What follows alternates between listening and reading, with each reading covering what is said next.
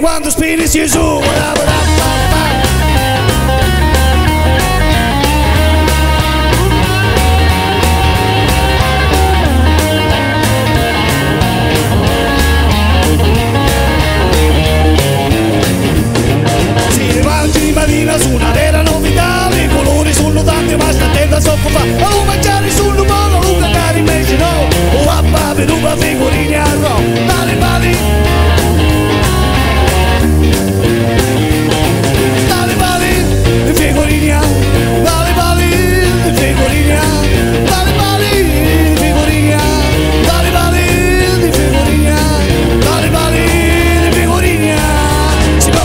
be the one to finish us all.